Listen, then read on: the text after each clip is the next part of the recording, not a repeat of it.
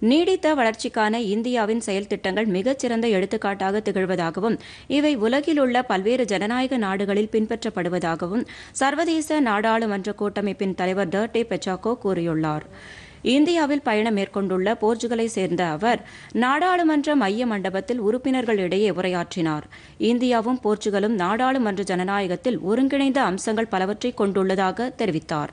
இரு நாடுகளுக்கும் இடையேயான உறவு வலுவானது என்று கூறிய அவர் அனைத்து நிலைகளிலும் ஜனநாயகத்தை மேம்படுத்த இந்தியா சிறப்பாக பணியாற்றி வருகிறது என்று குறிப்பிட்டார். பெண்கள் இளைஞர்கள் உள்ளிட்ட அனைத்து தரப்பினரும் ஜனநாயகத்தில் பங்கேற்பதற்கான வாய்ப்புகளை அனைத்து மட்டங்களிலும் இந்தியா வழங்கி வருவதாக அவர் தெரிவித்தார். கூறினார் தனிநபர்கள் ஒவ்வொருவரின் அரசியல் மற்றும் மத சுதந்திரம் இந்தியாவில் அதிக அளவில் மதிக்கப்படுவதாகவும் அவர் குறிப்பிட்டார். கொரோனா தடுப்பூசிகளை உலகின் பல்வேறு நாடுகளுக்கு இந்தியா வழங்கி வருவதற்கு நன்றியும் பாராட்டும் தெரிவிப்பதாகவும் டர்டே பச்சாக்கோ கூறினார். ஐநா பாதுகாப்பு கவுன்சிலில் நிரந்தர உறுப்பினர் இடத்தை இந்தியா பெறுவதற்கு போர்ச்சுகல் ஆதரவு அளிக்கும் என்றும் அவர் உறுதியளித்தார்.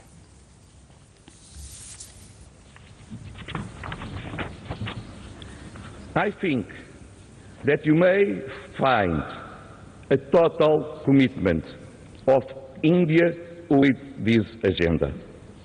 India defends multilateralism, like IPU, as a perfect way to organize the international relations system and an Asia multipolar like IPU defends. India defends democracy, the state of law, the dialogue between people and countries to achieve peace and development to all. India is the largest democracy of the world, and in all levels, from local to national, is looking to be more inclusive with more women and young people. And India respects the convictions, political and religious, of each person. இந்த நிகழ்ச்சியில் பேசிய மக்களவைத் தலைவர் ஓம் பிர்லா ஒவ்வொரு நாடும் பிற நாடுகளின் இறையாண்மைக்கு மதிப்பளிக்க வேண்டும் என்று கூறினார். மற்ற நாடுகளின் நாடாளுமன்றத்தில் எடுக்கப்படும் முடிவுகள் வேறு நாடுகள் விமர்சிக்கவோ விவாதிக்கவோ கூடாது என்று அவர் வலியுறுத்தினார்.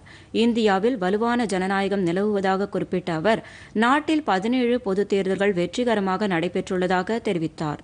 நானூறுக்கும் மேற்பட்ட சட்டப்பேரவைத் தேர்தல்களும் இந்தியாவில் நடத்தப்பட்டுள்ளதாகவும் இவை ஜனநாயகத்தின் மீது நாடு கொண்டுள்ள வலுவான நம்பிக்கையை எடுத்துரைப்பதாக எடுத்துரைப்பதாகவும் ஓம் பிர்லா கூறினார் प्रतिबद्धता को दर्शाता है भारतीय संसद प्रशिक्षण तथा अन्य कैपेसिटी बिल्डिंग कार्यक्रम के माध्यम से अन्य देशों की लोकतांत्रिक संस्थाओं के साथ विश्व में लोकतंत्र को सशक्त बनाने में लगातार कार्य कर रही है हमारी संसद हमारी प्राइड कई देशों को उनकी संसद सदस्यों को वहां के अधिकारी कर्मचारियों को लगातार प्रशिक्षण देती है और कई देश के लोग भारत की संसद की कार्रवाई और गतिविधियों को अपनाने का प्रयास करते हैं।